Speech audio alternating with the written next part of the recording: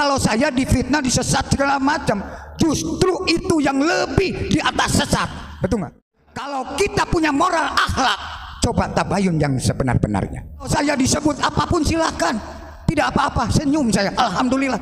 Tetapi negara acak-acakan, rakyat hancur, agama hancur, negara hancur, Pancasila hancur, merah putih hancur, NKRI hancur, mau dikemanakan? Kalau dihancurkan oleh Indonesia sendiri, ini mau dikemanakan Indonesia ini? Keprok aduh. Kita jangan takut, jangan terpancing dan dipancing. Karena mereka sudah punya siasat. Kita sadar. Karena mereka larinya kepada agama. Padahal agama dipakai kedok. Agama dipakai korupsi. Agama dipakai segalanya supaya mudah berjuangnya. Padahal itu pengkhianat agama, pengkhianat bangsa. Betul? Assalamualaikum warahmatullahi wabarakatuh Berjumpa kembali bersama saya di channel Wanes Official Teman-teman, saudara-saudaraku di mana pun kalian berada Semoga kalian selalu dalam keadaan sehat walafiat Tidak kurang suatu apa pun dan tentunya semoga kita semuanya selalu dalam lindungan Allah subhanahu wa ta'ala Amin amin ya Allah ya Rabbal Alamin. Alhamdulillah teman-teman kabar gembira untuk kita semuanya. Akhirnya pihak MUI merespon dan menanggapi Mama Gufron secara serius. Yang sebelumnya sudah kita ketahui bersama Ketua MUI bidang dakwah dan ukhuwah Yaitu Kiai Haji Khalil Napis Sudah merespon di dalam tweetan twitternya yang menanggapi Mama Gufron. Dan di dalam tweetan tersebut pun Kiai Haji Khalil Napis menjelaskan bahwa pihak MUI sedang melakukan penelitian dengan MUI daerah setempat. Ya walaupun sebenarnya Mama Gufron ini sudah jelas-jelas menyimpang dan menyesatkan dan menyebarkan ajaran-ajaran yang tidak sesuai dengan syariat agama Islam, tidak sesuai dengan ajaran agama Islam. Khususnya Mama Gufron ini sering menceritakan dongeng-dongeng yang tidak ada dasarnya, tidak ada di dalam syariat agama Islam. Tetapi pihak MUI tetap melakukan penelitian mungkin untuk meyakinkan kembali bahwa ajaran-ajaran Mama Gufron ini sesat dan menyesatkan atau menyimpang daripada ajaran agama Islam. Nah, baru-baru ini Ketua MUI bidang dakwah dan ukhuwah yaitu Kiai Haji Khalil Napis menanggapi kembali Mama Gufron dalam bentuk lisan, dalam bentuk video yang diupload di channel resmi Majelis Ulama Indonesia. Seperti apa videonya? Langsung saja kita simak bersama-sama. Dr. Kiai Haji Khalil Nafis LCMA, Ketua MUI bidang dakwah dan ukhuwah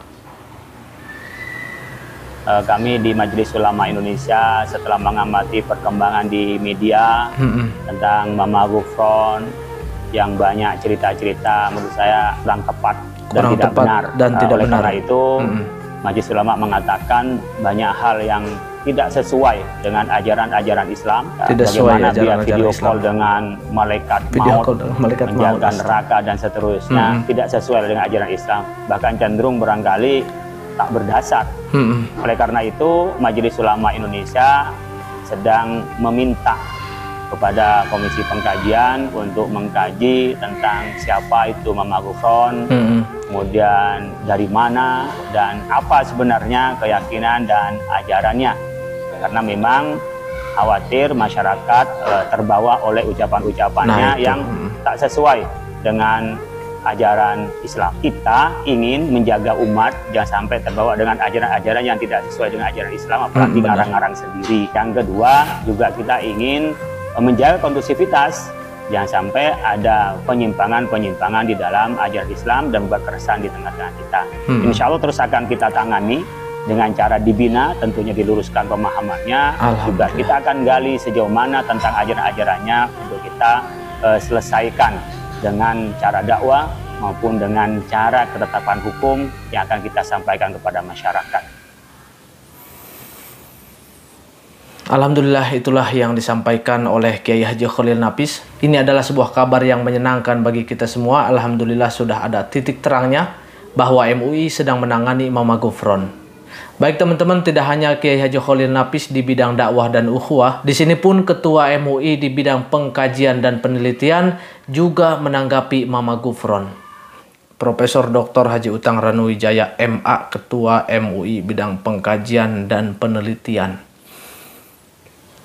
Kami dari bidang pengkajian melalui komisi pengkajian, penelitian dan pengembangan uh, hmm. sudah berkomunikasi dengan MUI Kabupaten Malang dan MUI hmm. Jawa Timur uh, terkait dengan hadirnya seorang yang sangat kontroversial, sangat, sangat kontroversial. masyarakat. Karena kami juga banyak Uh, pertanyaan dan banyak uh, teguran dari berbagai pihak untuk coba merespon saudara Gufron mm -hmm. ini dan kami melalui komisi pengkajian sudah memberi perintah supaya berkomunikasi dengan MUI Malang. Dan menurut informasi, MUI Malang sudah uh, berusaha untuk bertemu dengan saudara Gupron ini. Katanya tidak sempat ketemu dengan tidak orangnya. Hanya menurut teman-teman di MUI Malang, itu ada framing bahwa uh, mereka sepertinya tidak ada masalah dengan Majelis Ulama Indonesia. Tapi ini terus mengupayakan supaya ada ada koordinasi dengan MUI daerah. Kami dari pusat mendorong supaya ini ada penyelesaian karena ini kan sangat menyesatkan masyarakat. Nah kalau hmm, tidak ditangani oleh uh, teman-teman ya di daerah tentu ini akan terus mempengaruhi dunia medsos dan iya. uh, akan uh, memberi pengaruh yang negatif terhadap sangat. perkembangan uh, pemahaman keagamaan dan -hmm. saya melihat bahwa ini ini main-main saja saudara Gufron ini ya main-main uh, untuk uh, mencoba membuat keresahan di uh, masyarakat terutama di dunia medsos.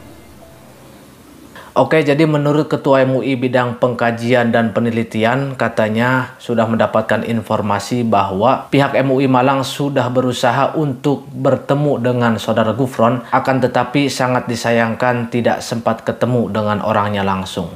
Nah, kenapa ini? Apakah Mama Gufron takut? Karena sebenarnya Mama Gofron pun sudah tahu bahwa dia sedang diselidiki, sudah direspon dan sudah ditanggapi oleh pihak MUI. Jadi mungkin dengan adanya itu Mama Gofron sudah mulai panik. Entah apa nanti jawabnya jika dipertanyakan oleh pihak MUI. Makanya ketika pihak MUI dari Malang datang ingin bertemu dengan Mama Gufron tetapi tidak sempat bertemu dengan orangnya langsung katanya. Ya mungkin bisa aja Mama Gufron ini menghindar karena orang yang sudah melakukan kesalahan pasti di dalam hatinya merasakan ketakutan. Itu tidak bisa disembunyikan dan itu tidak bisa dibohongi.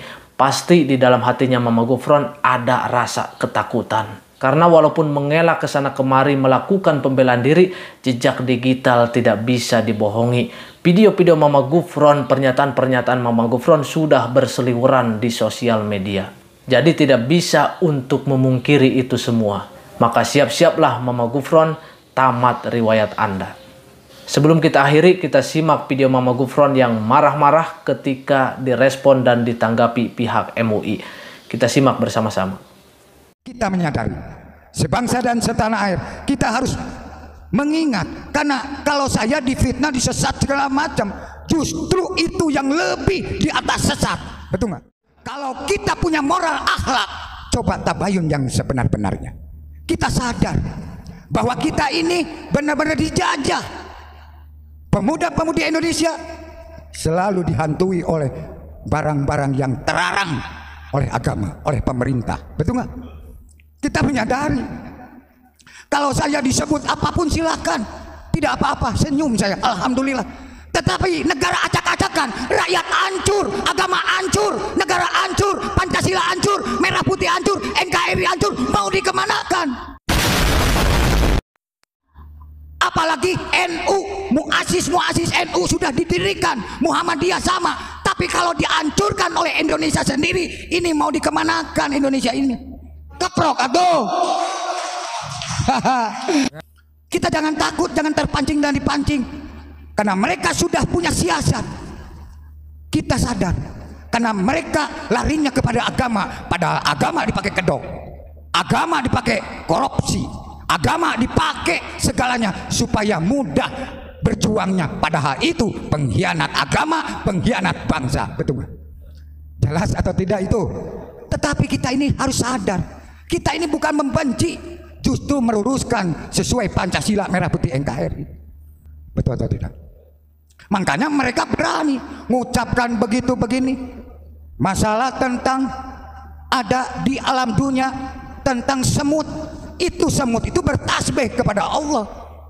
Bisa ngobrol? Bisa. Buktinya siapa? Nabi Sulaiman alaihissalam. Betul nggak? Kalau orang berilmu, carilah orang berilmu. Kalau kita cari pari rimbon, ya susah nyarinya. Pasti dipakai guyonan. Betul nggak? Padahal semut itu sudah ngasih contoh bagaimana semut itu kegotong royongannya, persatuan dan kesatuannya itu semut sangat luar biasa. Makanya ditulis di Quran, betul nggak? Betul atau tidak? Jelas atau tidak ini? Akhirnya cacing, cacing itu dibutuhkan oleh dokter pun. Untuk apa? Penyakit. Kalau ada kita penyakit panas, kasih cacing. Betul nggak? Bahasa-bahasa cacing itu dibutuhkan oleh manusia. Manusia itu dibutuhkan oleh cacing juga. Begitu meninggal, habis itu ku cacing. Betul nggak? Betul atau tidak? Aduh, alhamdulillah. Sedikit-sedikit aja dibukakan. Jadi jelas. Sekarang bahasa jin ada di Quran. Betul nggak? Jadi kita ini kalau kita benar-benar menghayati, mempelajari ilmu, pasti ketemu dengan ilmunya. Kalau dicari dengan nafsu pasti nafsu itu diketawain oleh nafsu sendiri. Betul nggak? Belajarlah bukalah kitab-kitab. Makanya banyak kitab yang digeser banyak kitab yang diganti. Akibatnya begini salah kaprah. Nggak apa-apa kalau saya disebut sesat disebut segala macam silakan tapi orang sudah menyesatkan Indonesia lewat narkotik, lewat narkoba, lewat minuman maupun pel-pel. Itu menyesatkan dunia, menyesatkan Indonesia. Betul atau tidak? Bahaya. Serang dengan doa. Betul nggak? Keprok aduh. Betul atau tidak? Jelas atau tidak? Kita ini menjaga Indonesia. Ulama mungkin ngerti, paham mana yang hak, mana yang tidak hak. Betul nggak? Halal tidak halal kan mungkin ngerti betul nggak? Jangan diam. Indonesia itu udah dirusak ini. Pemuda-pemudinya dilibas dulu. Supaya apa? Mudah mengambilnya. Akibatnya seperti begini. Kita yang perlu itu yang dipikirkan nasib bangsa ini nasib bangsa negara kesatuan Republik Indonesia. Nasibnya bagaimana ini? Betul nggak? Tanggung jawab atau tidak Betul atau tidak ini? Makanya yuk kita bareng-bareng sama-sama. Rukun damai cinta kasih sayang gotong royong. Orang benci, orang tidak benci doakan, udah doakan. Biarin dia mau nulis apa pun terserah. Karena sebentar lagi pasti ketemu. Pasti siapa biang lalaknya, siapa menjadi pelayarnya, siapa menjadi pengepulnya, siapa jadi nanti juga ketemu. Tunggu aja saatnya. Saya yakin kok. Karena saya betul-betul cinta kepada negara, cinta kepada rakyat, cinta kepada Pancasila, Merah Putih NKRI. Itu. Betul atau tidak? Saya yakin. Makanya kita saling menyadari. Nanti ketemu. Mau lari ke mana? Biarpun mengaku itu soleh, mengaku itu ahli kitab, ahli Quran, ahli apa pun, silahkan bagus. Tetapi kalau kamu sudah membohongi agama, membohongi Quran, hadis, tafsir, bahaya nggak? Bahaya atau tidak? Bahaya. Jadi agama itu jangan dipakai kedok, betul nggak? Bahaya. Ini seperti saya. Nama saya lahir Yusuf Girman dikasih oleh guru Muhammad Abdul Gufron. Ya betul nggak? Nggak bohong kok. Saya harus yakin. Yakin apa? Semua kita kembalikan kepada Allah. Semua bakal mati. Ya bakal meninggal dunia. Tinggal tunggu saatnya. Harian harian. Ya itu aja nggak panjang lebar